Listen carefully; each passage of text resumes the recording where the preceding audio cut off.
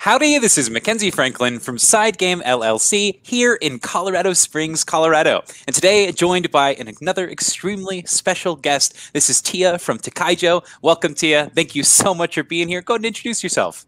Hi, everybody. I'm Tia. Um, I run on YouTube and Instagram under Tikyjo, T I K Y J O. Um, and I'm just a person who really enjoys board games, solo board games, multiplayer board games, all different genres, all different sizes, all different weights. So, really excited to be here. And thank you, Mackenzie, for having me back. Yeah, so I actually met Tia via one of our solo videos. So it was really cool to kind of get her opinions on things. And we found out that our tastes really do align. And I know it's just been a great time collaborating with her. So please make sure you go check out Tia's channel over on Tikyjo. She puts out amazingly quality content, certainly better than you'll actually find on this channel. So you need to go over there, enjoy, and man, make sure you're subscribed so you can see all the new stuff that she's putting out because she has quality stuff. So please go see it for you know all sorts of fun solo, uh, multiplayer, and actually very useful and informative content. We try. So as you saw with the thumbnail, today Tia and I have a very interesting list that we're going to talk about today. The top 10 board games that we want to live in. So she brought last time we streamed together, she brought to the table, you know, a more challenging list of delicious components. So I thought, okay, what would be another kind of interesting theme to talk about? And I thought this one was really cool. So top 10 board games that we want to live in. Now, this can be something as small as just like a, you know, a small setting to an entire universe or world. So it's really open up to our interpretation. Did you have any caveats or any like ways that you took this list list, Tia, before we begin? Um, I think I took it on like a per game basis. Like you said, it could mean so many different things, or it could be so many different elements of games. So I think, yeah, there wasn't, I didn't really place any restrictions on myself. Okay, I did the exact same thing, so I'm really excited to see what you put for the list. So Tia, let's go ahead and jump into it. What what's your first world? Number five. What's your number five world in the board games? So, my number five is Mesozooic, which is designed by Florian Fay. And this is a small box Z Man game. Um, it's a card game primarily. And as you can probably tell from the cover, it's all about building a dinosaur theme park. And I know that's like a really hot theme recent, so hot in right recent now. years, but this one's been out for a little bit. And obviously, like I, drew, I grew up watching Jurassic Park, you know, all those movies, not Jurassic World, the new ones, but Jurassic Park, like the OG ones. And so this one one just brings back all that nostalgia of creating a dino theme park. And in terms of how the game plays, not only does it look great, obviously, um, Brie Linzo, who does art direction for Z-Man, top notch with this game, hired some fantastic artists to work on the cover art and other things like that. But the gameplay is also super fun. And I think that adds to my enjoyment of the world because it's not a very serious game, um, but there's some serious strategy to be had this does have speed elements. So essentially, you're drafting different elements that you're going to place into your dinosaur theme park, which will be a grid of cards. And Mackenzie, I don't know if you remember or like are familiar with these, the little number puzzles where you have like one through 25 slots and you have numbers one through 24 and you have to shuffle them around and get them in order from one to mm -hmm. 24. Mm -hmm.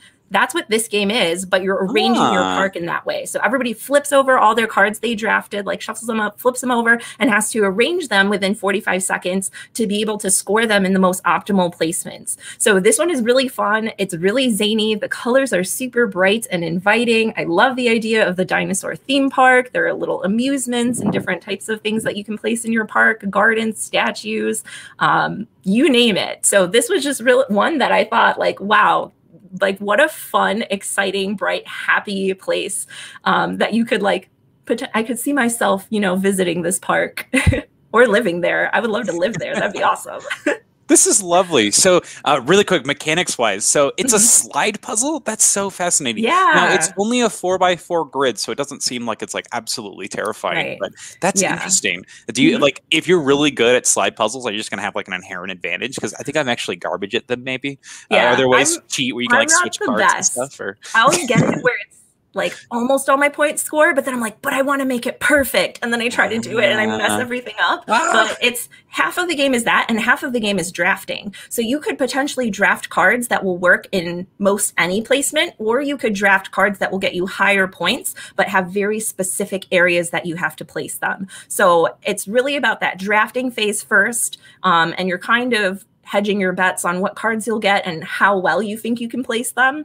And then the second part is how well you can place them and arrange them in those 45 seconds. So that's yeah. yeah, that's my favorite part about drafting games is kind of setting yourself up for success and potential combos. So this is this is wonderful. Now Michael has a comment here. He says, "How does it differ from Dinosaur Island? It looks really interesting."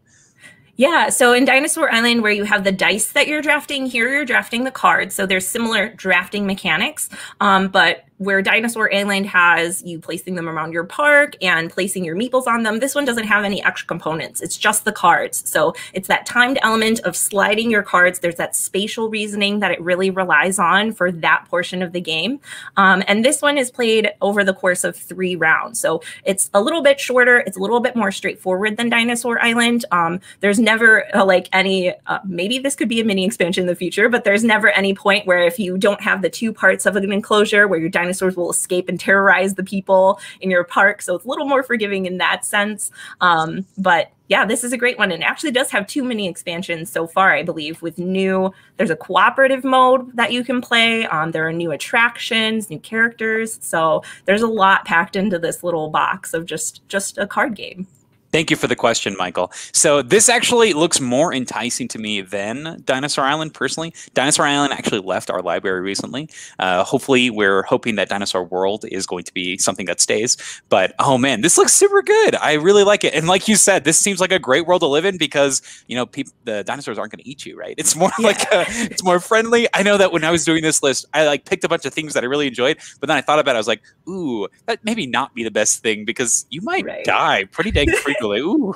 I know I'd like I thought about uh, Maracaibo for a second. I was like, wait, there's actually a plague going around at that time. Yeah, it's not a good idea.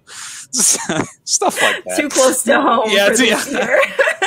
I don't know if yeah, be like scurvy and all that bad stuff. I, I was thought, uh, maybe actually not. So once I thought about it, so this is great. This is like you still get to enjoy the fantasy of the dinosaur world without having to deal with you know the death and all that right. stuff.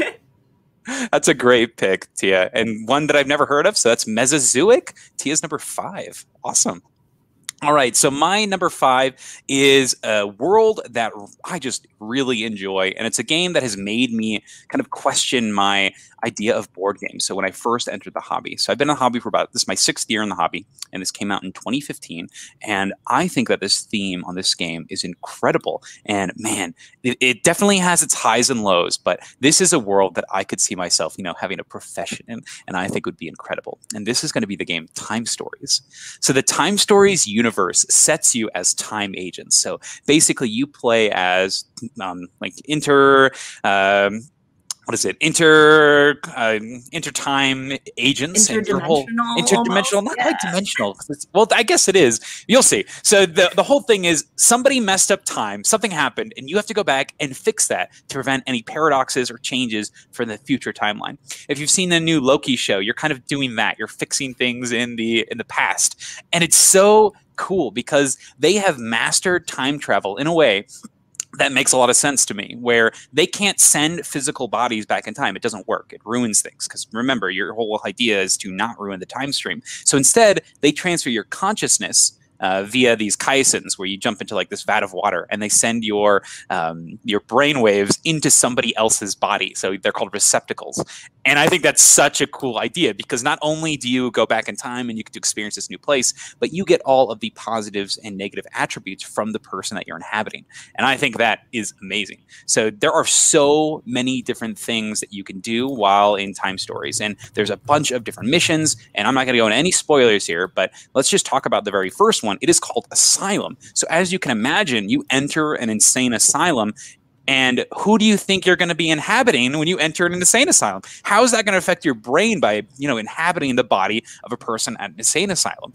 So interesting, so fascinating, and the amount of like story building and lore and world building that they do from mission to mission is so interesting to me. Yes, uh, if you've played the game the whole way through, you may be unsatisfied with some of the missions and some of the endings and whatnot. But I think as an entire experience as in a world, this is so interesting, so fascinating, and it's something that I would love to do. If I had the opportunity, I I would sign up to be a time agent. It would be so awesome. Uh, Tikyjo, have you enjoyed any of the Time Stories experiences or played any of them? Yeah, I've played through the Asylum one, and what's the one that was D and D esque? Where you have like um, different Prophecy classes of, of characters. Mm-hmm. Prophecy of Dragons. So I played through those ones. So not necessarily all of them in order or what have you. Um, but they were really fun. And like you said, I think the best part about these games is the story and the universe. It had very like futuristic sci-fi altered carbon kinds of vibes with inhabiting different bodies with your consciousness. Um, and i just thought it was such an interesting and fresh take on sci-fi. It's not you know your generic sci-fi in space or something to that effect or you know fighting man versus machine. It was something quite unique um, with the time travel aspect of it and how you can transfer consciousness. So this is like one that i would have expected was based on a best-selling you know long career novelist in the sci-fi genre. So the fact that it was integrated into a game and created, I think specifically just for this game, it wasn't based off of anything else to start with, is just really mind blowing. Um, that they created such a complete universe.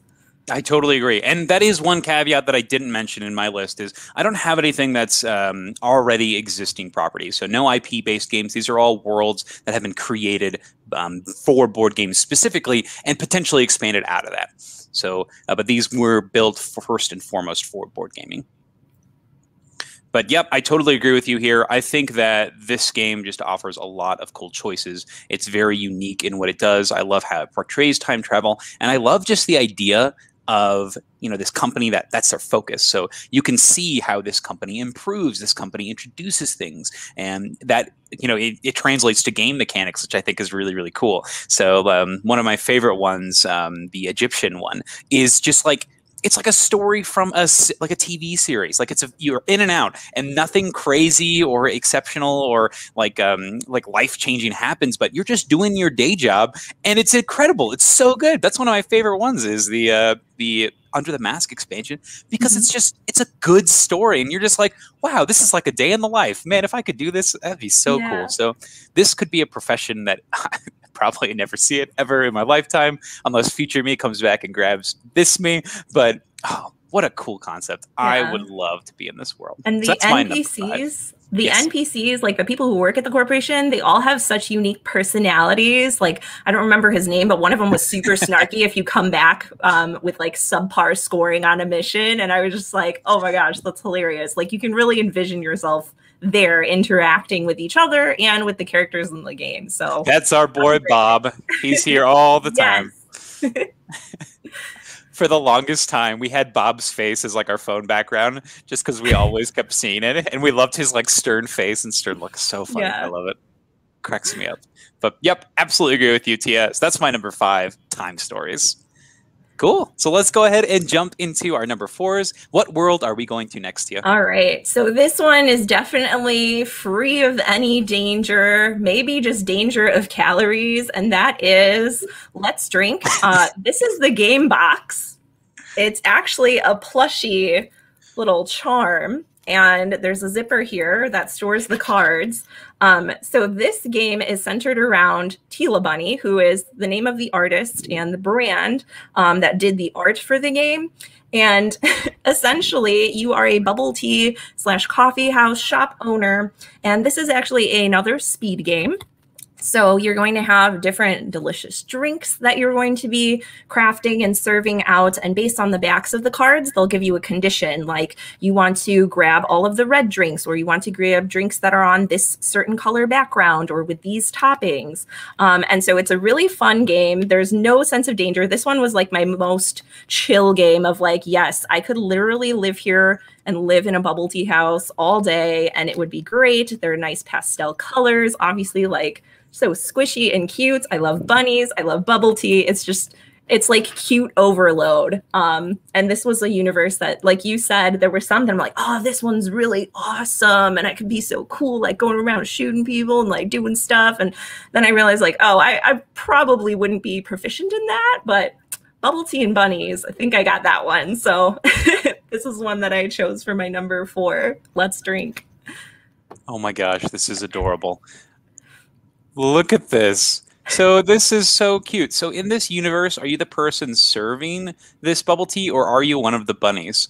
Yeah, so I, I mean, I guess maybe everybody in the universe is a bunny. It doesn't specify if you're human or not, um, but the manager is Tila Bunny. So this is like oh. her. Um, she's actually part of the game as well because if there are no drinks out that you can grab and serve, you have to grab her like instead of the cards, which I guess that's like I don't want to I want to talk to your manager kind of thing. So you have to go to the manager to explain why those drinks aren't out. At least that's the flavor I think of for it.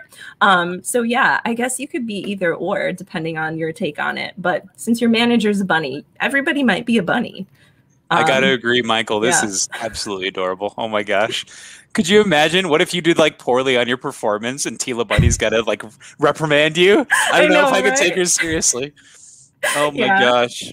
Yeah, that would be the worst thing that could happen in this universe, you know? it's like you don't serve enough drinks and Tila Bunny gets all mad at you. That's amazing. Oh my gosh, it's adorable. Oh, yeah. Oh, man, this is great. This is so cute. Not a game that I would ever look at and say, man, I got to try this one. But now that you've explained it, yeah. it's adorable. It's cute. This looks like fun. Oh, right. Man. Yeah, and that was one that I was like, you know, even if the game isn't that great, it's just so cute. And like, you know, I'll just use this as like a purse charm or a backpack charm, you know? Mm-hmm. But um it's one that we've played quite a bit. It's just like a really fast, fun filler game. If you played like Egyptian Rat Screw or games like that mm-hmm. where you're having to grab certain combos of cards, like this is kind of just like that, but with really gorgeous art and a cool little universe with bunnies and bubble tea. So yeah, it's it's it's surprisingly really solid. what a world to live in. So from the eons of space and time to a quaint little bubble tea shop. That's Let's Drink by what's the name of the the the mascot? Uh, so the artist is Tila Bunny and the designers are Jason Lin and Frank okay. Liu. Mm-hmm. That's great. So brought to us by Mosey Games. Oh my gosh, that's yeah. wonderful. Anything else you want to add on this one? Um, I think that's about it. Just, you know, bunnies and bubble tea, living the life. that's amazing. I love that you're introducing all these speed games. So I'm a big fan of like really well done speed games. Like mm-hmm. I think Spotted is awesome. I think that game is really really good. Uh, so hearing that you really enjoy these other speed type games is really cool because that's that's neat. That's not a genre people really take into consideration when they're looking for solid games. So right. that's really cool that you're bringing these to the forefront. I appreciate that. Cool. So my number four is going to be this crazy universe. So not necessarily just a small world, but this is a collection of worlds. This is one of my favorite sci-fi themes in board game. It's the only one I'm going to feature on this list, and I think that it's just so fascinating because it's not a game about destruction or um, you know domination. It's about cooperation, and it's something that I really, really appreciate and enjoy. And I actually talked about this the other day with my friend Dan. He wanted me to kind of explain to him why it was a good game. And I think it's an amazing game. This is Sidereal Confluence. So Sidereal Confluence is, has you playing as an entire species of aliens. And the whole point of the game, Confluence, is the interchanging and exchange of information. And in this case, it results in technology. Your whole goal is to go to the summit trade your resources with others, and then with those resources, develop technologies that you're going to share with everybody else. Yes, you get an advantage, you get to use them first, but everyone else does too. So I love this whole concept of yes, you are this terrifying race of beings that has a name that you can't pronounce, but hey, you can you can use your knowledge to for the betterment of every single society. And I think that is so cool. This is a really refreshing sci-fi theme where you are exactly as I said, you could be this evil race of creatures, but instead you are going to be doing your best to support, um, I wouldn't say mankind as a whole, because they're like plants and robots and uh, bugs and stuff. What, what, what, would you say here? Just, Just life, right? In general? Life. Yes. Yeah, you're here to benefit life as a whole. And I think that's amazing. Any shape that comes in. So the aliens in this world are interesting and fascinating. There's ones that are literally just plants. And so they're really good at just producing things on planets. You have characters that are crystals and you have characters that are they literally consume planets for resources or you have ones that just create hives and so they're just making planets like it's their job so fascinating so interesting I love the mechanics that are unique to each character. um, I don't have this new edition, this fancy version. I have the older version, and you literally get like this gigantic card that's just half of it is lore like the entire side is just lore so you really can get like um, immersed in this universe and the other half is the mechanics and stuff. So it's really neat how you can kind of understand where your character is coming from why the mechanics work certain ways and some of the characters you see you're just like oh my gosh who are these people? But none of them are like in their heads trying to be malign except for one. There's one and most of the time you don't play with it because it's it's like the one character that actually steals and is, is a bad guy but uh, you're not supposed to play with it with uh, people who haven't played the game a lot. So generally i don't play with this one a lot. So that's the Zeths i think they're called. But seeing as like the entire galactic civilization is working together i think they're going to be fine with stopping those evil guys from messing with this beautiful utopia that you've created in space so I really find this theme refreshing. I love the mechanics as a whole. I like the the trading. I love that you can use these power converters to trade whatever. I love different planets. I think it's just a lot of fun. And there's a new edition with some new artwork that's supposed to make it a little bit easier to read, just generally more inviting. Great universe, cool game. I really like this one. That's Sidereal Confluence. Have you tried this, Tikyjo? I have not. So this is one that I've like seen the cover of, I've heard the name of, but I haven't really looked into it. Um, and like you said, there are a lot of space games out there that are kind of 4X in nature, like negotiating, conquering planets, expanding, you know, all of that. Um, and for me, some of those games are fun, but they're not my personal go-to but hearing that this is a cooperative game that supports a lot of players, right? It's cooperative. So it is um, not cooperative, but oh, okay. mechanics when you do things, it's all positive interaction. Ah, so gotcha. Um, not necessarily cooperative because you are trying to make the most points, and one yeah. of the benefits of creating the technology is you get points but everyone gets access to it. So it's oh. it's all positive cooperation, which or uh, positive interaction, which I think is really important and really cool. Yeah, refreshing. I think. Yeah, and that's very different from you know going and attacking people or making a negotiation that's going to mess someone up later down the line or give them um you know not a positive benefit. So that's really cool to hear about this one. It's definitely one that I'll have to look more into. It's pretty sweet. A lot of my yeah some of the mechanics even lean into that positive cooperation even more. There's mm-hmm. one faction of characters that uses these um, these uh, converter cards, and as you can see on the left side, there's like this arrow, and that means that you pay those resources. But on the right, you get all those things for using it. And there's one faction that has uh, these converters that are incredible. They're amazing, the best in the entire game, but their effect is they can't use them. So they have to give them to other people and be like, hey, I have this thing that's absolutely bonkers here here you go. And they're yeah. trying to you know barter and bargain. And once again it's only going to benefit each other. And if you yeah. make bad trades like you said you can't really do that because if you do people aren't going to trade with you and then you're going to be sol so you have to be right. as you know accommodating and understand like the value in this game. It's it's so interesting. Awesome yeah, this is a really cool one to me. And I hope that they create more sci-fi themes like this. I think they definitely have. Uh, there's a lot of fantasy games that are more leaning towards this way now. So to see more sci-fi that come into this like cooperative, relaxing, um, interesting, but yet still interesting and fascinating space. Yeah. I, I'm excited. Cool. Any, anything else to add, to you on this one? No, I think, like I said, I'll definitely have to look into it more because the way that you explain it, it sounds very different from a lot of the games that like just looking at the cover of the box i'd put it in the same realm as you know cosmic encounter or twilight imperium or some of those Xia even maybe. Um, but learning about kind of the mechanics and how you're interacting with other players that sounds really interesting and new it's a it's fantastic. I think everyone should experience it once, and if you really like it, you'll probably just play it right again. The playtime is surprisingly short for a game of this size. And Michael has a question. He asks, "What's the best minimal player count?" The best player count for that game, I think, is probably four for like the like the, the least amount you could play it with and still have fun. But I think the best player count is any.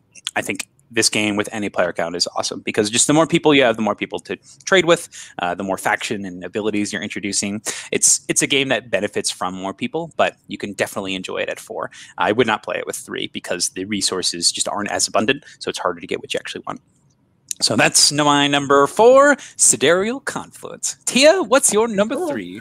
All right. Well, I was just talking about not wanting to be in a stressful world where, oh, no. like you said, you can potentially die. Um, so you know, sticking to that consistency, my number three is actually Video Vortex. So this is a mm. deck building game and it's built in a post-apocalyptic universe. So this is again throwing it way back, but for those of you who know the reference of Y2K, this game is based on if Y2K actually happened and civilization shut down, like technology shut down. And so the beginning of the book actually opens with a table of contents and then some light reading setting up the universe, which usually, if that's in a game, whether it's in the front or back, I usually just skip over it. But this one was so intriguing to me. And I'm so glad that I read it because essentially, you have these people that have uh, survived and are scavenging throughout the world of Y2K, and they some of them have like these mutations genetically and they stumble upon this shop owner named josh. Josh is actually just a skeleton. He's no longer a living being but he has his little like uh, vcr you know rental shop name tag and so they're like, "Oh, Josh, he's a cool guy." They become friends with him. This like deceased skeleton remains, and they go into this shop that's kind of been preserved, and they find all of these VHS tapes and VCR players and they start watching and this they have no recollection because technology is completely destroyed there are no computers or anything like that so they this is the only way that they're getting information about the past pre Y2K and they start to think that all of the things that are on v- VCR are real. So like vampires, real. Can you believe there are little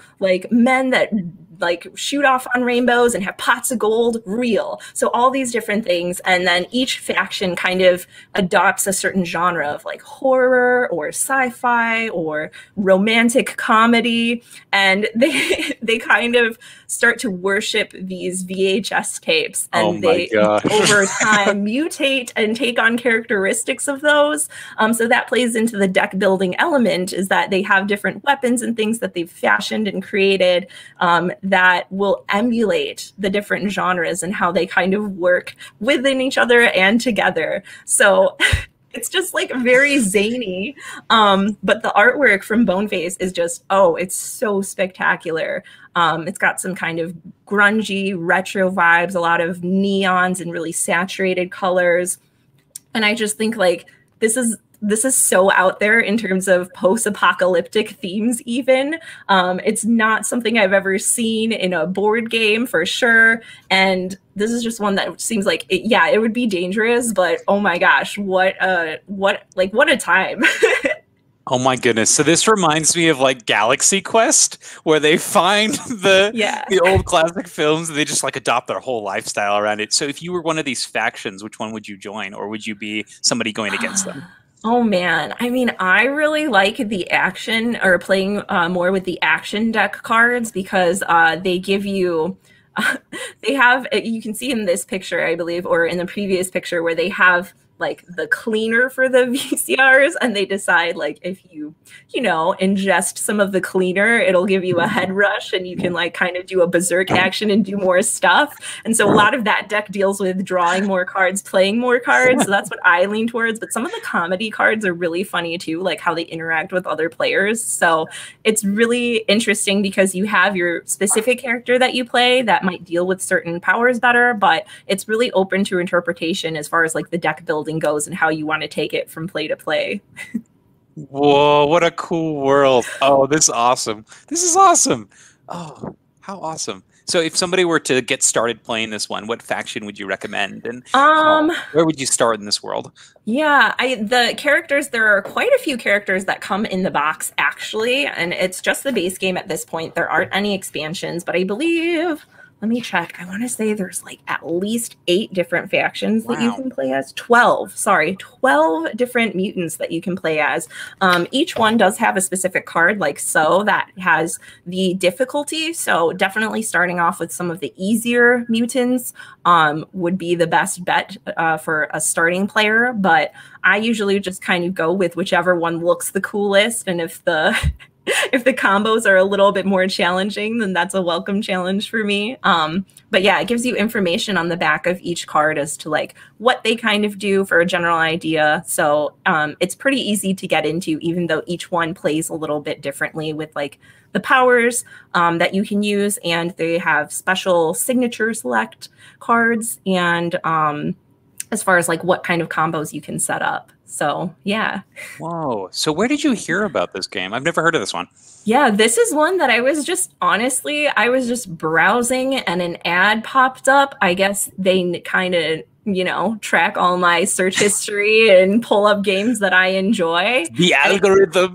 Ah. Yeah. I think actually this one was a local FLGS had posted on Facebook. They're Oh, uh, new in stock, and so I Mhm. just looked at it and I looked at the box, and you know it doesn't really show the name of the game on the front Mm-hmm. of the box. There is like a little sleeve that goes over part of it, but I was intrigued because I was like, "What is that?" The art is gorgeous. It's kind of you know ambiguous and elusive. Yeah, that's with the sleeve, and I'm just like that just looks and sounds awesome. I looked into it, found out it was a deck builder. I love deck building, and then looked into the mechanics and the unique characters. And I just, I, it was one of those ones that as soon as I saw it within that day, it was ordered. That's fantastic. This is such an interesting take on post-apocalyptic, and I love that they've adopted. That's so fun. These different movie styles. That's great. Uh, we have Indra joining the chat. Good to see you this morning, Indra. Thanks for having you. Oh, it's good to have you. Anything else to add on this one, Tia? Um, I don't think so. Again, I think, well, I guess again, maybe not the best world to live in because the mutants are battling each other, but it would definitely be interesting for the amount of time that you would exist in that world. Oh my gosh. Riding high. Oh boy. All right. So my next game, my number three, is going to be a game that it, kind of is a large portion of my current life. So um, I don't know if you know this, but I used to play games like Yu-Gi-Oh, and I still run like a Pokemon club at my school that I work at, and I used to be a, a Yu-Gi-Oh national champion actually uh, Mhm. for the United States through TCG Player. So this was the only TCG Player nationals they did, but I did win that one in like 2014. And so Yu-Gi-Oh and competitive TCG card games were a big part of my life.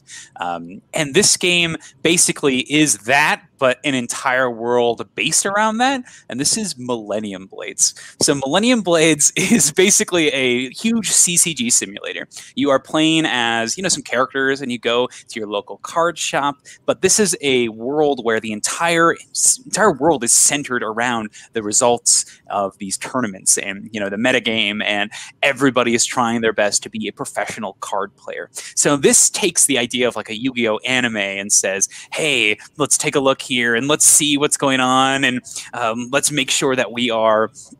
Building our decks appropriately. Like, oh, did you see the last Yu-Gi-Oh game last night? Did you see all this? And I'm just like, oh my gosh, what is this game? And they actually have this huge lore book that comes with it that basically details all of the going ons, and they have some really fun characters that are all you know comedic takes on every everything imaginable in the anime universe. So this game is just super goofy. The artwork is hilarious, and it just reminds me of all the things that I really liked about um, these competitive card games, but done in a way where you can play it either competitively or cooperatively against like these this evil shadow organization. And I think that's really fun for this like anime esque thing to exist that is just an amalgamation of all different tropes. So uh, it's just a blast. There's so much going on. You there's like riffs and uh, parodies of everything you can imagine here. You've got characters from Final Fantasy, from all the animes, and my favorite set has to be uh, one of the more recent sets. This is one of the boss sets where it's all the creators of different card games that have kind of worked together to defeat you. And so one of the one of the creators is like uh, uh, Kazuki Takahashi, which is the creator of Yu-Gi-Oh. You have Richard Garfield. You have Eric Lang. All of them are represented by like their own cards, and they all are ridiculously overpowered. So you have to come up with a strategy to be able to beat them. It's so fascinating, so interesting. I love it. It's it's a great universe. Once again, those they have this giant lore and art book. Everything has like its own. You have like sets of cards with different characters in it, and some of those cards have like sequels and uh, trequels, and so you can see the progression of the characters in their sets of cards it's a blast. It is so funny, and it reminds me of like this world that when I was a kid, I I hoped and wished would existed. Like nothing seems more cool than slapping on like a duel disk, right, and going out and watching people play cards on like televised uh, TV, like in this like, extreme epic way. So that's that's where I'm coming from this, and oh. Yeah, this sounds. It still sounds great. I still would enjoy this. It'd be super cool. So that's my number three. That's uh, that's Millennium Blades. Have you played this? Have you experienced the wonder that is Millennium Blades? I have not. This is another one that I would like to try. Fana level 99. I played like Soul Sellsword, some of those packs, and Boss Monster. Um, other games that are similar in that universe with the, like the pixel art and the references and what have you. And again, similar. Um, I didn't play Yu-Gi-Oh growing up, but like Pokemon and everybody collected Digimon cards, but nobody had Digimon, like played the game. Um, I tried to once, but then I had no one to play with. But like collectible card games, the Harry Potter collectible card game, which was surprisingly really good um, back in the day, uh, and similar as well, you mentioned that it has like characters or references to characters from like Final Fantasy and other things. So that just brings me back to those tactics like Fire Emblem games and Final Fantasy and just growing up with them, being able to see them kind of all come together. And then the game designers, when you were talking about that, it was blowing my mind. That sounds super, super fun. Like, oh my gosh, just a nostalgia trip and just like a re- done in a really fun uh, way. It sounds like it doesn't take itself too seriously, I guess is the way that would explain it. Um, so yeah, I'll definitely have to. This is another one though too that there's a lot of content for, right? I remember seeing the big Kickstarter boxes coming out recently for it. So that'll be another big box purchase. Yeah, this is one where you definitely don't need the giant Kickstarter boxes. You'll be probably fine with the base game because there's just so much content. But the additional content is a lot of fun. They have stuff based on different board games as well. Some of the promos are, you know, there's like a near and far set. There's all the different level 99 games. There's a lot of cool stuff. Uh, Mom Gamer has joined us this morning. Great to have you, Mom Gamer. She says she loves Millennium Blade. So awesome. I'm glad that you're enjoying this one. I think it's incredible. Uh, speaking to what you said though, so you said that you played like the Harry Potter TCG. So while I was uh, in college and I still have some of these now. I was very interested in collecting out of print TCG games, and one of those was uh, Harry Potter. So I actually have a like a cube draft set for the Harry Potter TCG in our side game library, and oh, along with some other random card games. We have like the Xiaolin Showdown card game. We have the um, ah, what is it, Blue Dragon. We have the uh, Maple Story card games, like a bunch of decks ready to go. Neopets. So a bunch of these random games that you'd be like, why does he have this. I I don't know why. I had a lot of disposable income in college because of a scholarship that I was on, so I was just you know, for some reason I gravitated towards this as like my side thing from Yu-Gi-Oh. So yeah. so funny. Oh, that's great. I think maybe that's why I like this too. I think I just like this. This is really a celebration of the right. card games and CCGs, and I think it's I think it's really cool. I I love the idea of it, and like you said, does not take itself seriously at all. Everything's a joke from Game of Thrones to Super Mario Brothers. You can find everything in this game, and they're all just wonderfully illustrated and just a blast to dive into. I could just sit there, and I have sat there and just looked at the art and just really enjoyed it and just read the cards, and every effect kind of relates to whatever card it is. It's it's a treat. If you can, get a chance to play this one, do so. Uh, Mom Gamer supports me, so I would recommend this if you can. So that's my number three, Millennium Blades. Oh, love it, love it, love it, love it. yeah, that's one that will definitely be an easy sell for our game group and my friends. So just based on the nostalgia of it and everything, like you said. So I'll definitely have to add that one to the list. Oh no! Every time we make a list together, my shopping cart gets bloated. Sorry, Tia. All right, let's jump into number two. Tia, what do you got for me?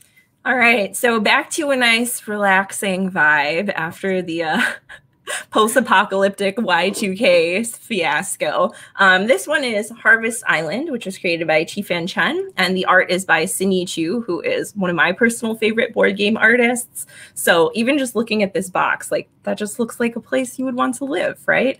Um, and the game takes place on Formosa Island, um, which is an island in, I believe it's the eastern part of Asia between the south and the um, uh, north, so it's quite close to the equator. So year round, essentially, the thing about this island is it has all different types of terrains, but the weather is such that you can actually grow fruits and different types of fruits throughout the entire year. So this game is basically based on that, where you're going to be collecting different cards.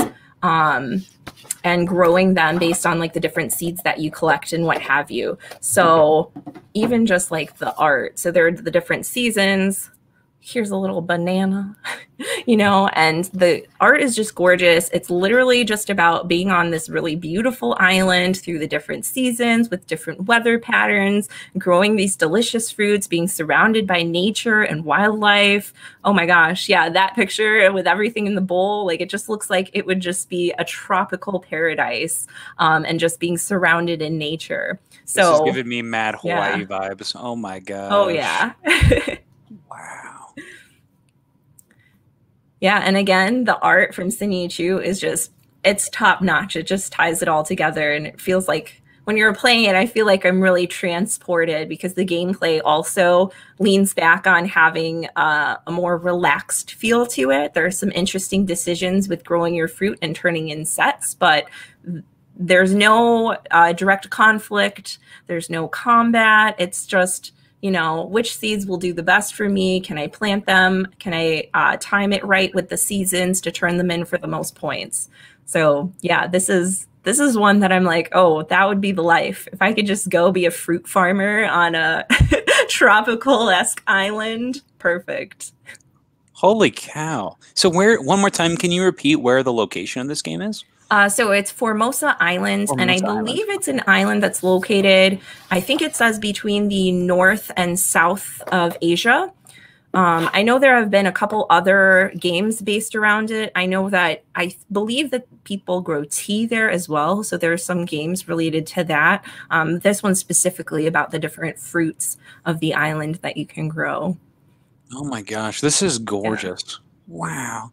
And Andrew has a quick comment for us. He says, "Sorry, not sorry," and that's all for the um, that's all for the recommendations. So you know that's kind of what happens, right? We talk and we get all sorts of fun, fun stuff. Uh, Mom Gamer has a super chat for us. She says, "Thank you for another lovely show. Thank you so much for the support, Mom Gamer. We really, really, really appreciate it. So thank you so much." Fantastic. Oh my gosh, this is so cool. So before we moved to Colorado, uh, we lived in Hawaii, and this reminds me of the just all the fruit stands, just all like the farmers markets, and just the just everything is just right there, and the wildlife, and this is so cool. I love the artwork. Particularly, there's the image earlier that we saw with the um, the mango, not the mango, the uh, dragon fruit with the Komodo dragon. Yeah. I just think that is that's lovely. This is so cool. This is a great yeah. idea similar to Hawaii, when uh, I visited Panama, we stayed in a part of Panama called El Valle, mm-hmm. which is a valley that was carved on the inside of a dormant volcano. Oh and gosh. because of that, because like the ridges around the entire city are so high from where this volcano existed, the temperature is like perfect for growing fruits and growing food all year round. Um, the weather's always gorgeous, like everything's very lush. And so, like, playing this game just kind of takes me back there to sitting in the hammock with some fruit juice and, you know, just having a nice, relaxing time. Um, but yeah, I think I don't know if Formosa is open to tourists, like the actual island itself, but mm-hmm. just based on this game alone, like I feel like I have to go at some point, you know? Absolutely. This is one. This is a game that I'll look into, and probably a location I'll look into. Uh, big fan of travel in general, so this is this is fantastic. Oh man, Fatal Paper Cut is joining us this morning. Good morning. Thanks for having. Thanks for being here. Fantastic. And remember, anybody in the chat right now, if you have any comments on these games or anything, we'd love to hear your opinions. What does this remind you of? Is this a world you'd want to be in? Love to hear what you have to say. So thank you so much for joining us this morning. Uh, yeah, we do this for you. So thank you so much. Fantastic. So great number two. This is Harvest, Harvest Island. Island. Mm-hmm. Wow. Awesome. All right. So I love the peacefulness. I love that this is like, oh, just yeah, such a serene theme. I love it. Now, my number two is probably the most relaxing one on my list. Uh, it's a theme that I really enjoy. It's just a wonderful, wonderful world, but it's one that's based in our own. It's it's like a uh, dr- dramatization of a relaxing, relaxing uh, time period. It's a relaxing dramatization of an existing time period, and this is going to be Feast for Odin. So you might think about this and be like, oh, Viking game? How could this be relaxing? So this is the Viking game that presents itself in the most chill way possible. The big spiel that I give whenever I teach this game is how would you like to be a Viking that relaxes, gets a bunch of stuff, and crams that stuff places? And that's how I feel in this game. And the best way to encapsulate this, I think, is to just look at the home boards for the different characters. So each character has their own home board, which is, you know, where you're going to be setting up kind of your initial placements and whatnot. And on this home board, you can see just people gathering around the thing, uh, just kind of enjoying themselves and working together and just kind of hanging out and chilling. So you can kind of see it here. They're all just chilling. You got a couple people in a circle in that bottom left corner. Everything is this peaceful, um, this peaceful shade. It's just wonderful art brought to life. There's sailing, there's hunting, there's exploring in the mountains, there's building sheds. You're making food. You're, you know, you're you're crafting your own occupations, so that way you're getting better at your crafts. You just real real you time to get better at your profession. It's really neat. I really enjoy this. This takes the the Viking theme and you know steps away from something like Blood Rage, where I feel like everything is going to like everything is burning. Uh, run as fast as you can to something more serene. Let's go to market. Let's get some sheep. Let's go to let's go to the mountains and pick up a couple sticks today. Oh yeah i'd love to buy that for a dollar. Yeah thanks so much that's how I feel when I play Feast Odin. That it's just really relaxing, really fun, and the pieces and components are just a wonder to be around. I really enjoy the character that are in that's like in each of the cards. I love the variety of occupations. So this is a you know this is a, a Viking settlement that you can really be what you want to be. I really appreciate that. And you've got some amazing components. You've got our, our friend the Moose Meeple here. You've got all sorts of goods that you could explore. There's a couple of characters that are playing board games on some of these sheets, and so you can tell that uh, you know they enjoy some of the the quality of life things as well. And you know, if you get bored, you can always go raid a village and you steal some things. That's fine. The whole the whole clan will come with you. Or if if you want to go, you know, colonize an island, you can do that too. So there's a lot of choices here. This is a, a colony where you could really be what you want to be, and I really appreciate that. Uh, but really, the the big thing here is that you're constantly feasting. You have all this great food. You've got a bunch of buddies because you got like up to 12 workers around. And then you can choose lots of divergent occupation paths that all just seem very quaint and very fun. And it's just oh, this is a this is a world that I could be in a while. And when you play the game, you'll probably be in this world a while. So it's one that I recommend to people. It's a great game. I like I like this one a lot. So that's my number two. I was quite surprised that it got so far up here. This is Feast for Odin. Yeah, I was thinking about, like you said, I really enjoy Viking themes as well. But when I thought of Blood Rage or Champions of Midgard or, you know, Raiders, I was like, oh, that'd be so cool. But I'd definitely die. like, I would not survive past a first round living in those games for real. But yeah, I like the chill vibes of being able to just go to market. It's kind of like, uh, you know, I, I, thinking about all those action shots is like the Vikings are going out filming a movie, and this is just the downtime between, like, oh, I'm just a normal guy, just going to market. okay, have you ever seen the show Norsemen?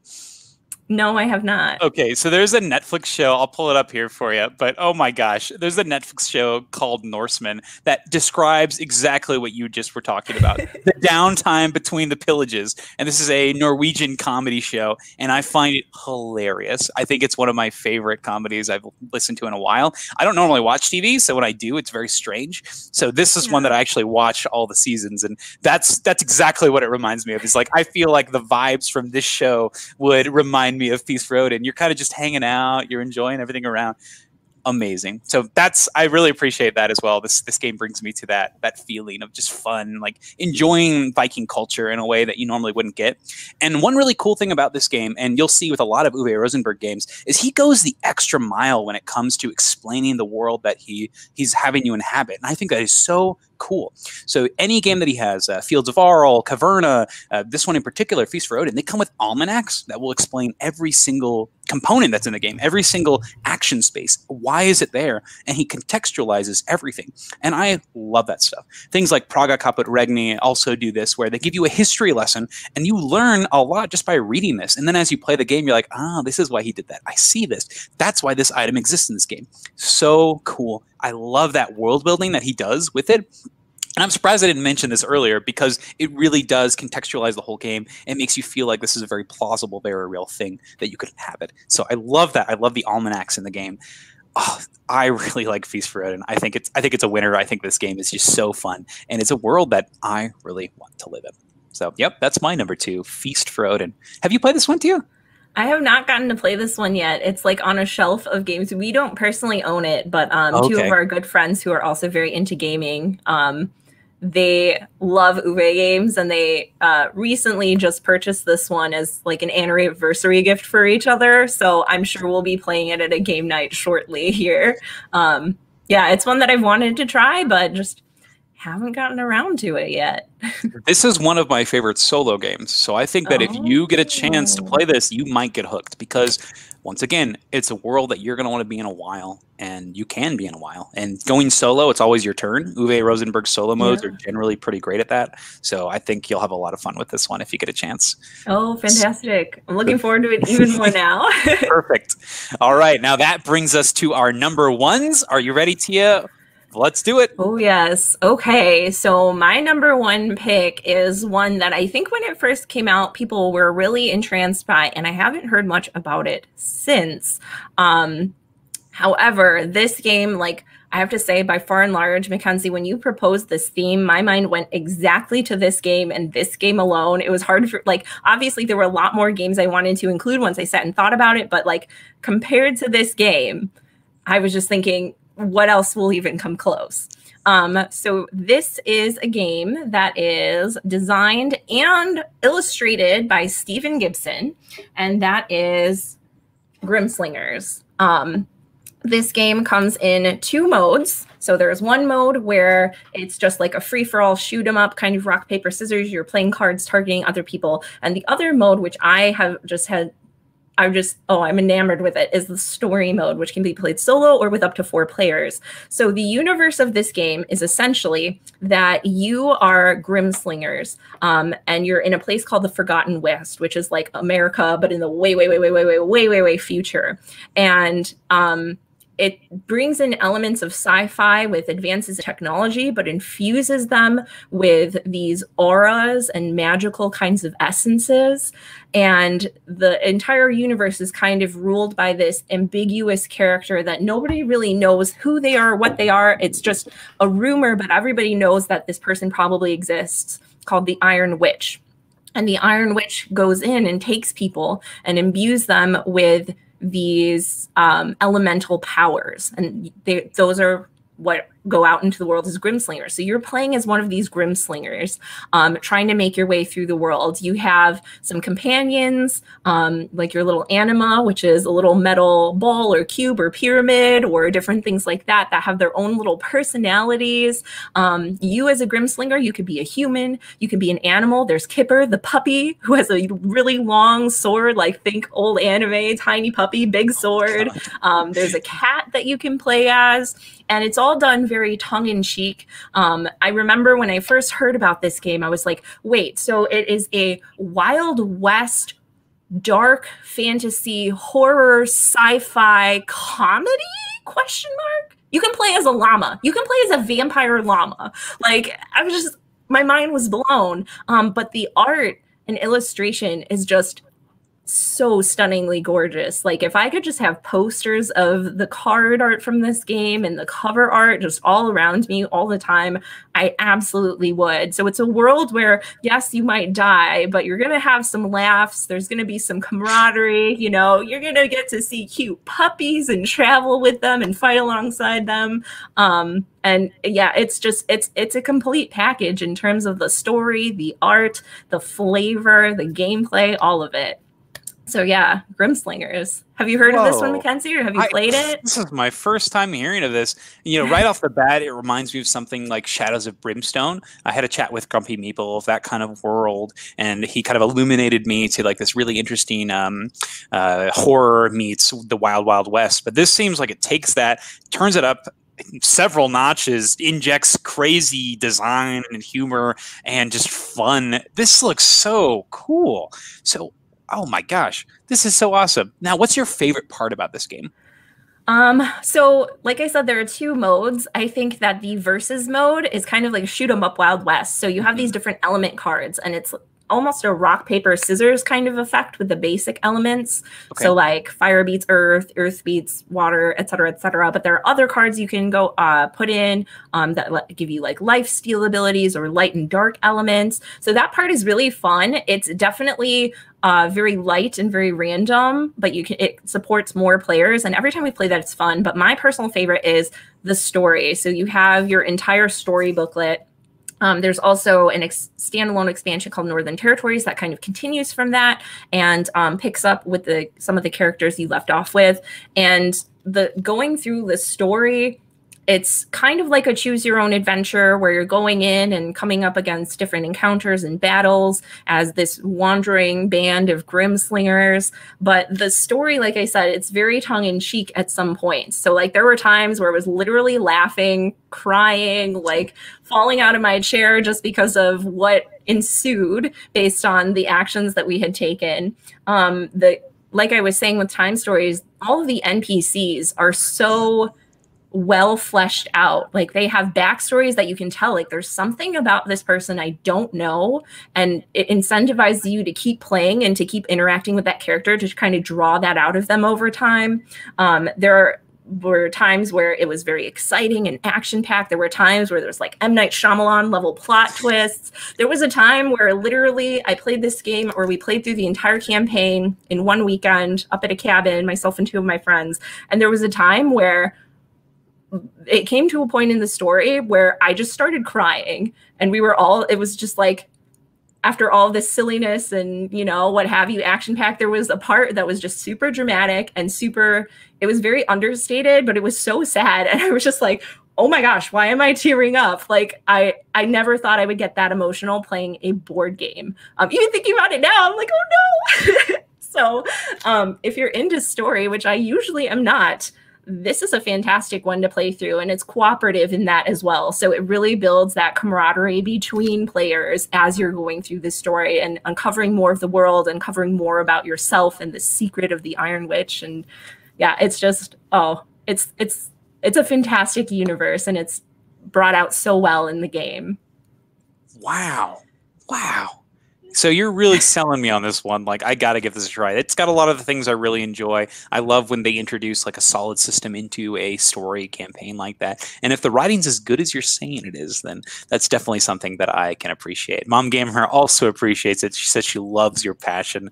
And yeah, you're you're selling us on this. So this is so cool. I've never heard of this game. So that's that's so fascinating. Yeah, I think when it first came out, like I said, people were intrigued by the story and the universe, but I think most people bought it as the competitive mode, which is that really uh. light kind of take that back and forth.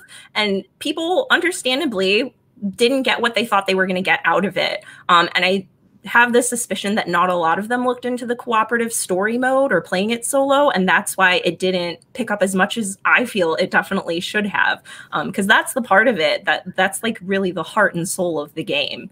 Um, but yeah. Definitely if sense. you're into it for that reason like this is a great one to have so this one yeah. is a uh, it's from 2015, so it's about 6 mm-hmm. years ago. So, um, and I don't think that well for my for me exactly like solo gaming was not a thought to me at that time. Right. So it's like we have this huge boom of solo gaming. So people look for this now. They look for story based, oh, yeah. um, something quick with great narrative, um, easy gameplay, and that seems like what this provides. So wow. Oh man! So this is oh Scylla. This is uh, Grimslinger. This is Tia's number one. Yep, Grimslingers. And so uh, Nidaloth says that it's a non-expensive game. Yes. That makes sense. It's been out for a while, and once again, as Tia said, most people have not rated it very high because of that just two-player mode. And uh, Fatal Papercut says that it's a weird West style theme. Yeah, it's so interesting, so cool. Yeah. Oh my gosh, this is and again, it's like one. it's sci-fi, it's fantasy, it's Wild West, it's horror, it's comedy. It's like everything all bundled into one, which I thought wouldn't work, but the way that it's all wrapped together, it's just it feels like the complete package of life and the complete package of a universe. Like you're always going to have all these elements. A lot of games sometimes are too serious or sometimes they're like overly silly to the point where it's really fun but you don't feel any depth in it after the fact like, you know, um so this one, yeah. I'm just repeating myself at this point. Just try it if it sounds interesting to you for sure. Okay, I just had to add it to my games to check out list. You know, I just cleared that list and now I just added one. I thought I was going to be fine during the stream, but and there's Northern Territories, which oh. is on it. So and you know, I have to get the expansion because I'll be terrified if it sells out. Uh, Tia, what have you done to me? All right. so, generally, you haven't steered me wrong. I am currently in the process on working on a Capital X2 review because I think more people need to know that game exists. And that was your your well loved game from last time. So, oh man. Yep. I got to trust you on this one. You have a great taste. So, all right. Anything else we want to add on Grimslingers before we move on? I think that's about it. The wish list, give it the wish list, take it. Yes. It's uh, you know, it's one of those uh what you call it, uh like you know, energy isn't destroyed or created; it just keeps oh cycling gosh. around. It's a law so of the law of We're just in a continuous loop. Fatal Papercut's law of board games. Oh my gosh. We have Lucho AB joining us this morning. Great to have you. Thanks for joining us live. Oh my gosh. That's a that's a great. That's great. Thank you so much, Tia. That was amazing. Anytime. Oh. now, just like you said, my number one here is the game that I thought of immediately when um, when told to work when we decided to start on this list. And it is a game that it's one of the highest rated games that i have played in this year. I think that it is it's wonderful. It's the best in what it does in experience. This is also by a creator that does the game design and the artwork himself. This is ryan Laukat's sleeping gods.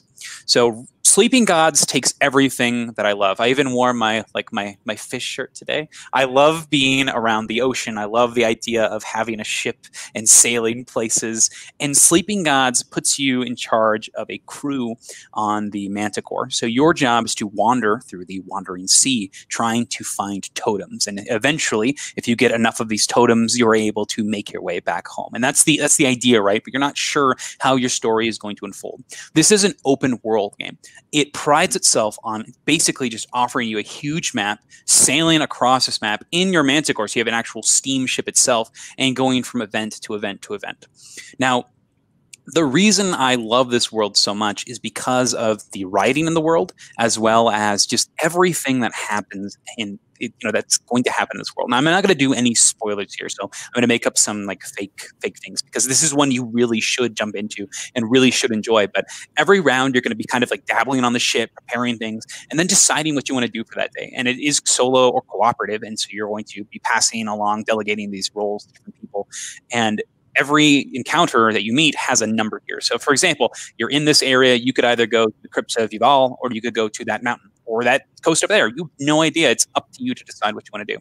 Now, you will receive leads potentially, and they're done through this keyword system, but generally, you're just going to kind of be exploring. And every time you go someplace, it's so interesting, so fascinating. So many things are happening that you might not have given a second thought to. There's a lot of things to discover, but a lot of places to sail. It is truly an adventure. It is truly this wonderful world with bright colors, bright cards. As you can see here, every character has this giant placard. Um, every character also has its own backstory, and you get to know the crew of your ship as you play.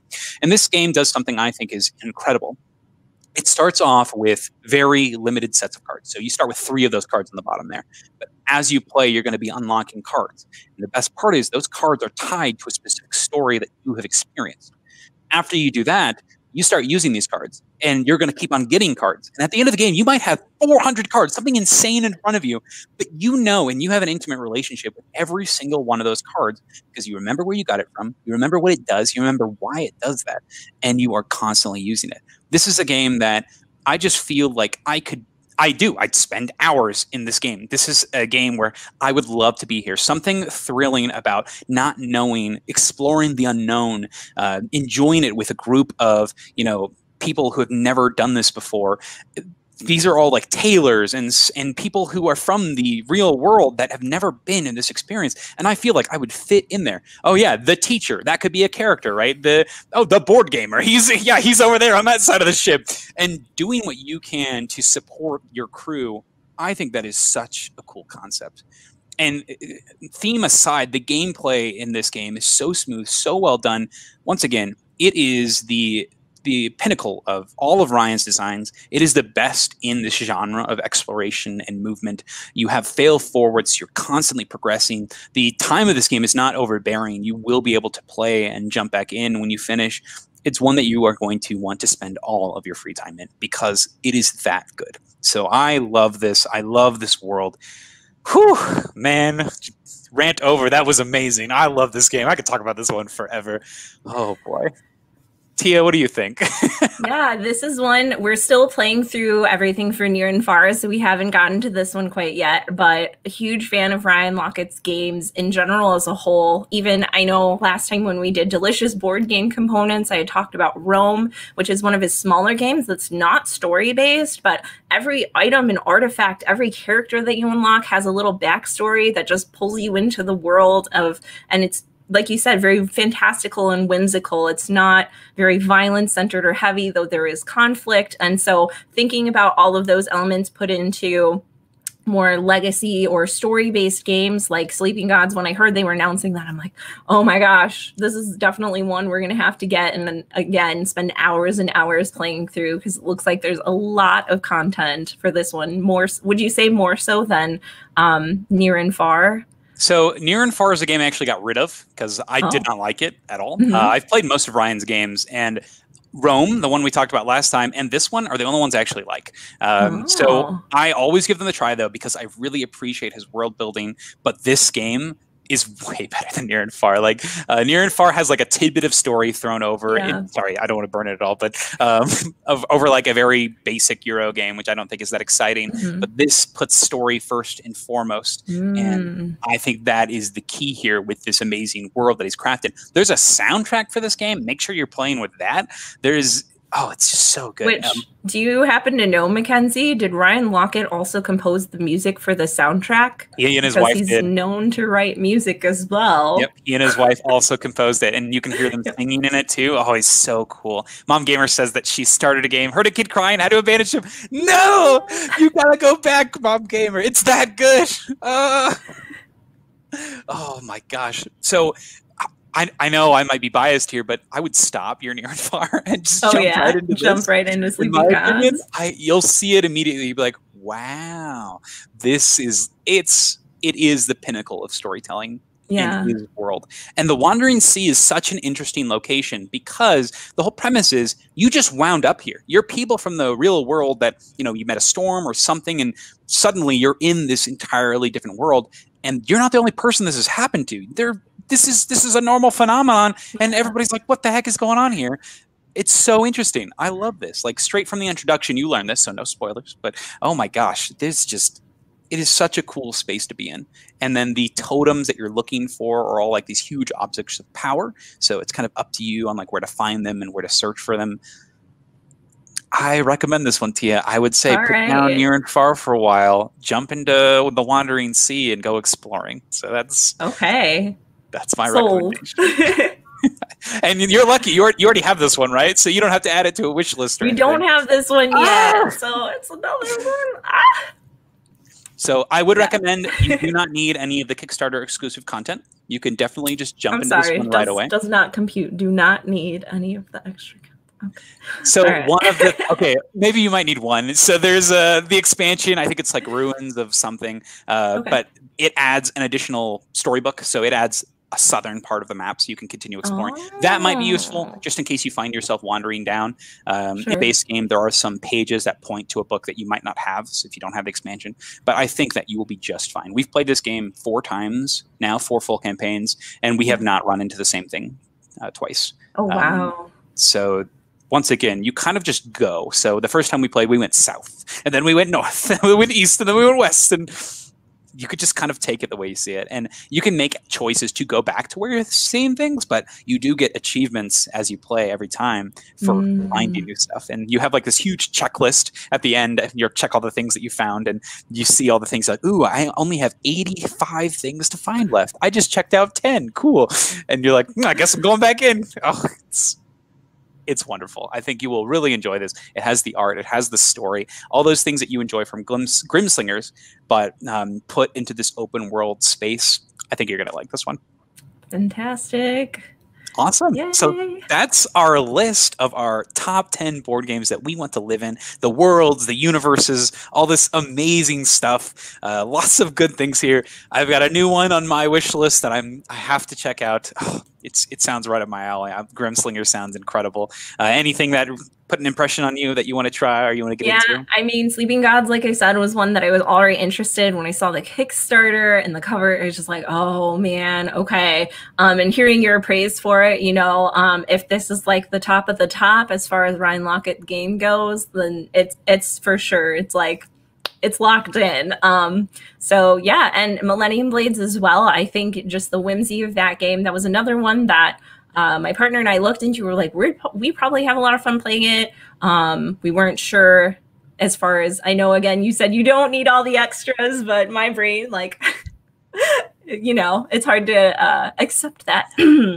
so uh, it, that's definitely one. Maybe we'll just buy the base game, like you said, and see how it goes, and probably shortly after try to track down everything else for it. Um, so if you do do that soon, there is a Kickstarter running for Empyreal mm-hmm. Spells and Steams. You can always back that and not actually get Empyreal Spells and Steams and mm-hmm. just get all the extra Millennium Blade stuff. It is offered there, so that is a way that you can get all that extra content if you do end up liking it. So you can enjoy the base game and then what all comes you can jump into it there. Uh, once again, I'm going to open this back up to the comments. If you have any game worlds that you'd love to live in, we'd love to hear what you have to say. Uh, Michael Newsom says that Sleeping Gods looks amazing. It looks great. Yes, it. That's because it is, Michael. It's it's a great game.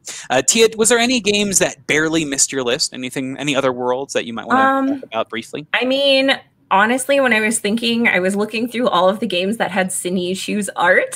so recently with Thundergryph Games, she worked on the Matchbox collection and she released 15 Days, which is another one with a lot of animals. You're in nature. Um, so that was one I had considered. Dragon Castle is another one that I'm a big fan of, and just the idea of constructing like these castles with the tiles and being surrounded by the different seasons anything with her art on it is probably a vibe and a type of game that I would be drawn to living in for sure. Um, but I think out of all of them, Harvest Island was the one that had the most concrete locations. So that's why I went with that one. Um, yeah. How about you, Mackenzie? Did you have any on your short list? So very similarly to you, I had some games that were a lot more cozy. Uh, one in particular, I think that viticulture would be just a great place to be. Uh, chilling in the Italian uh, countryside sounds great in theory, but and then I thought about it. I was like, mm, maybe I don't actually want to do that. I mean, I'd have to be like a farmer, and I'd have to get really into wine, and you know, yeah. wine's not my favorite thing in the world. So it's just like hmm, actually no. And then some other ones, I thought that Abyss could be really fun, like being a mer person and kind of swimming around and fighting leviathans and stuff. I thought that would be really interesting. But uh, once again, you are constantly like in a dip- diplomatic like uh, issue, so there's a lot of backstabbery and there's right. literal leviathans swimming around. So yeah that one also for the art and the theme and the universe was also on my list and then I thought about it, and even just playing video games where you're underwater and it's slightly dark, I get such severe anxiety. I'm like, I could not live at the bottom of the ocean with leviathans and anglerfish and everything like swimming around. That would not work for me. so even if I didn't get eaten by like before I would get eaten by a leviathan, I would probably just you know uh, have a panic attack and oh my gosh heart attack. so I'm like I would like to look at the world, but I don't think I could live in it, unfortunately.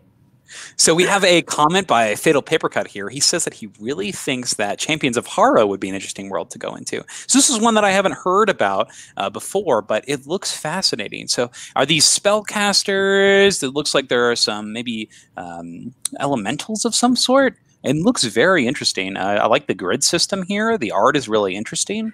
I think this is a cool pick. So Fatal Paper Cut, you'll have to tell us in the comments what you think of this one. Have you played this one, Tia? I have not. This is the first time I'm hearing and we're seeing it. Oh, this looks neat. So yeah, Fatal Paper Cut. You have to tell us what you like about this one, but very cool. And then we have Emily C commenting that she would like to live in museum with the Vincent Dutrait artwork. I think that's a good pick. Have you seen this art? I'll pull it up really quick. But oh yeah, oh my gosh, Vincent Dutrait. I'd live in anything Vincent Dutrait. Paints. Oh yeah, so, going off of that, Treasure Island, going on a treasure hunt. As long as you're not, um, is it Blackbeard who's in the prison giving the clues? as long as you're not the one who's in prison, going around the island searching for it, that would be super fun and super gorgeous. Ooh, look at this. Yeah, Vincent Dutrait artwork is amazing. If you didn't know, uh, Vincent Dutrait does a lot of the Time Stories art. So mm-hmm. he has, like, the one you played, the Prophecy of Dragons, yeah. that has some of his artwork in it. And I think that's amazing. Uh, I actually just did a list recently on my favorite artists, and he scored extremely high uh, for his artwork because I think Vincent Dutrait is one of the best in this whole business. His artwork is like, oh, it's, it's compelling. It draws you in, but it's also like this very smooth approach to the, the whole thing. It's not oversaturated, but it's colorful. It's lovely. I love this. So I think it's a great pick. Oh, man. Yep. Excellent choice, Emily. Totally agree. Hoo-wee. And w- one more time, what was the one that you were just saying, talking about? Um, Tiana, oh, Treasure Island. Treasure Island. That's right. Yeah. I was thinking Another was like, Vincent Dutrait island theme. So you know, there's water, Mackenzie. If you want to stop to go fishing. Once again, this is pirate times. I've learned my lesson yeah. by, by learning about Maracaibo. It's not going to happen. Um, I don't know if you've ever uh, seen the channel Sam O'Nella. Have you ever have you heard of this? He does a lot of like really ridiculous history lessons and one oh. history lessons he did on pirates. And he basically talked about like all of the the terrible things that could happen if you were a pirate the food that they had to eat the amount of disease and stuff. And i was just like oh man why are you ruining pirates for me? Let me live in my pirate fantasy. But oh this looks so great. Mm-hmm. oh so fatal paper cut here he has our information on um, the Champions of Hara. So there's flawed characters, so relatable characters. That's nice. Um, cool card mechanic playing the top and bottom card of a card based on if it's your hand or on the table. That's neat. That's neat. I love multi-use cards, so this sounds really interesting to me. Is it soloable? Is it a competitive game? Fatal Paper Cut? Any information on this would be great. So I'll always, once again, on these lists, the whole idea is to share games that kind of fall into these cool categories. So really neat. Yeah. I'll say another quick one. Um, I'm a fan of colder climates. So, one that came to mind for me is called Rescue Polar Bears. Um, I believe it was published by Mayday Games, uh, the company that also makes sleeves. And this one is just, oh my gosh, Mackenzie, if you can find a picture of the polar bear little meeples. Oh my gosh, they are the cute. cutest thing. Oh my gosh, look ah! at him. He's a long guy. He's a long boy. and oh plus you're going God. around you're literally rescuing polar bears and saving the ice caps from climate change. Like not only are you having a chill time but you're also doing good work you know? So i could see myself living in this universe. Like some people this is kind of their job more or less um but just put into board game form and very, very adorable. Oh my gosh. Oh, one more thing that I do want to add. This did not make it very far on my list because I don't really like the thing that it's talking about in particular. It's not something that I go crazy for. But I thought Pie Town might be a really fun place to live in. So Pie Town is a super goofy game uh, where basically there's like a big pie eating contest that's that are happening all the time, and your whole goal is to kind of like steal secret recipes. So right off the bat, there's a lot of deception in this game, but the whole premise is you are just constantly making pies. So living in a world that's just full of pies and like there's constant food. Look at that. Could you imagine just hanging out and just constantly being surrounded by delicious smells? That would be that'd be pretty sweet. so I like that one. I think that'd be pretty great. Fatal Paper Cut has our comment back. We're talking about Champions of Hara still. One to three players in the base game, expansions up to six. So very cool. Solid card system game, uh, lots of player count. That sounds like a solid choice, Fatal Paper Cut thanks for bringing that to our attention. And then chairman of the board says, managed to catch us. He would choose Last Will. Interesting. Have you played Last Will, Tia? No, I have not I have heard not. of this one. So, I chairman of the board, you're going to have to tell us what this one's all about. Uh, why would this be an interesting world? If I remember correctly, this is one where you are going to spend all. Oh my gosh Oh, this is not what I was thinking it was. So, last will, the description here says spend all your money the fastest to inherit loads more in this rich card game. I see why you would like this game, Dan. Nothing like a game where you're trying to spend as much money as fast as possible. That's fantastic. If you had all this money, what would you spend it on if you had to spend it right away? Tia? Uh, not board games. So just to get that out of the way, definitely not board games. So I don't know. A new house to have more room for board game? Eh, yeah, eh. we might. Recently, I've had to start stacking shelves on tops of shelves, like small cubes. So probably that, um, and then probably yeah, more board games. Oh my gosh. this one looks great. Oh my gosh. I like the idea of like just spending, spending, spending. Reminds me of something like High Society. So yeah, any game where you just get to be a rich kid, that seems pretty good. So I can't complain about that. Um, I think that if I were in one of those worlds, though, I probably wouldn't be the rich guy. I'd probably be one of the people like selling the clothes, or like you know the servant that works for the main character. So, but in an ideal world, yes, I would love to be one of those rich people. Anything else, Tia, you want to share? Anybody else in the comments here want to share any worlds that they'd love to be in? Yeah, I think that's about it for my list. Of course, there's so many, there's just an overwhelming amount of games that have great story, great art, great themes. And um, we talked about um, Grimslingers and Sleeping Gods and how those designers also did the art for the game and, you know, sometimes make soundtracks and wrote the story. And I just think it's so great that we have so many designers coming out of the woodwork who are just like pure creatives um, and that they're able to have a platform to start a publishing company like Ryan Laukat did, or publish their game on Kickstarter, or go through publishers, and that they're being recognized. Because I just think it's it's so hard to do even one of those things well. So to see so many designers, and it's interesting that both of our top picks were someone who created mostly the entire game from you know start to finish. So yeah, it's just really amazing. If anybody has any other suggestions of any really creative designers like that, I know Todd Sanders does the art for a lot of his games and creates games. He writes books. He has a publishing company. Like, it's just fascinating to me. And I think it speaks a lot about the passion that they put into their work because they're so involved from start to finish. So, yeah. And it's it's their baby, right? It's their passion oh, yeah. project. So you can tell that they have put as much thought as possible into these. And a lot of these games have been in the like in development for years and you could mm-hmm. definitely tell that they have spent some time making sure that they've created and curated amazing projects. So fantastic. Thank you so much for joining us today tia and thank you everybody in the comments today. Uh, lucho ab fatal paper cut mom gamer chairman of the board emily c. Uh, thank you so much for being here. Scylla nidaloth thank you so much for your time this morning. Indra john franklin that's my dad actually and Michael, thank you so much for being here today. Um, we have two more before we close off. So if you want to, if you want to talk about those, if you have time, Tia, we can talk yeah. about these more. Okay, so Fatal Paper Cut, he says that in Rococo, he'd be the guy shearing the sheep, not the one at the ball. Uh, I feel you, Fatal Paper Cut. And then lastly, Lucho says in Tokaido, he'd be the dude with the extra meal at the end. Fantastic.